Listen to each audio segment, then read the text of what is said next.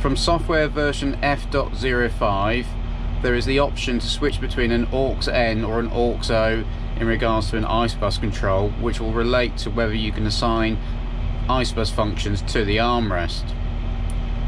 To find where to uh, make that change, if we press on the three lines at the top of the page, go to uh, System Setup and then across to, uh, to ISOBUS.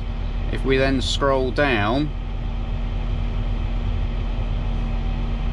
is uh, right near enough towards the bottom then we have this new uh, slider here. So I can change that between AUX-N to, uh, to AUX-O and, uh, and vice versa. So that's coming with software version F.05 uh, in there. And would relate to uh, then the easy way to know whether we need to change that over. If we had a, an ISOBUS implement I should see the, the symbol there if it's not appearing if I'm in say uh, AUX-N if I slide it over to uh, AUX-O hopefully then is I'll see the uh, ISOBUS symbol appear in this uh, in this particular part of the screen